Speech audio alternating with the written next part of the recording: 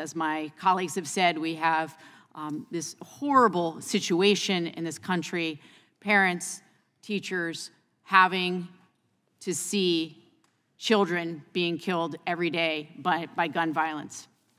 The country is awash in illegal firearms. We've heard that. We have accidental shootings by and of children. We have increasing suicide rates. And of course, uh, mass shootings continue across our nation. And public poll after public poll tells us the same thing. People want us in Congress to do something, to take action. More than half of Americans consistently support stricter gun laws.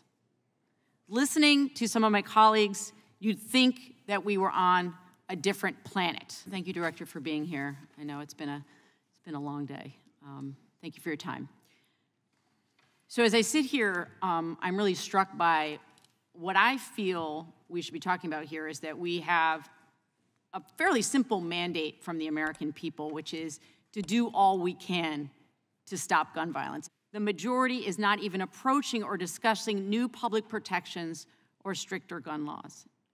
And the ATF doesn't have the resources to inspect firearms dealers as directed by Congress right now. Over 2,000 firearms dealers have not undergone any inspection in over 10 years.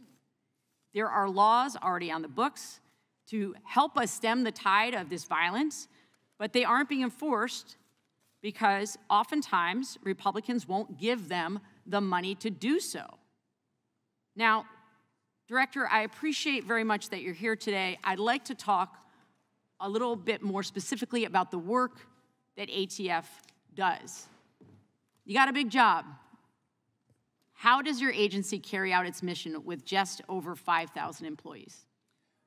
It's very difficult. It's shockingly low, given uh, it's, but the way charge. We, yeah, the, look, the way we do it is we have an incredible workforce. I mean, the, the people that, the career people, I'm the only political appointee at ATF, not a single Schedule C person, just me. The people who are the career people get the credit here.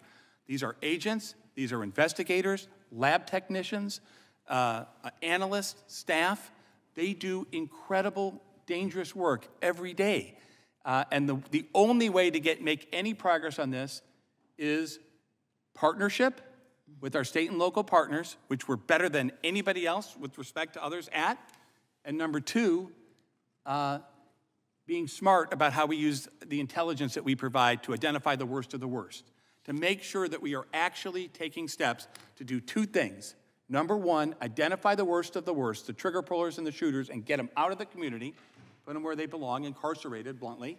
And also, at the same time, to do something to enforce the existing laws to cut off the supply of guns to those same people. It is far too easy for killers, felons, gang members, rapists, domestic violence people to get firearms, even though the law and everybody agrees they shouldn't have them.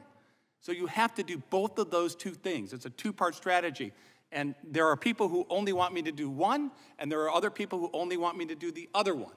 And the fact of the matter is, you're not going to make progress unless you have a reasonable approach on both.